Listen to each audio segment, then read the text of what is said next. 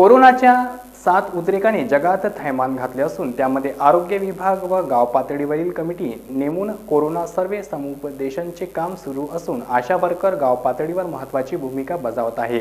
ती ग्रामीण व शहरी भागात प्राथमिक स्तरावर काम करीत असून तिला सुरक्षा किट आवश्यक आहे परंतु अजूनही शासनाने ती प्रत्येक पी एच सीच्या आशा वर्करपर्यंत पोहोचविली नसून शासनाने नव्वद दिवसांसाठी तिला पंचवीस लाख विमा संरक्षण दिले. पण पाचशे रुपयाची किट देऊ शकत नाही का?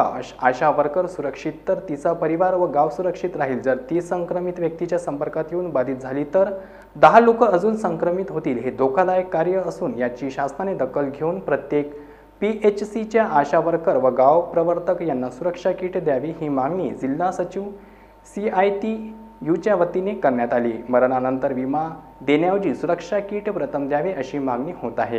ही माहिती आकोटेतून आर एन न्यूजचे प्रतिनिधी जफर खान यांनी दिली.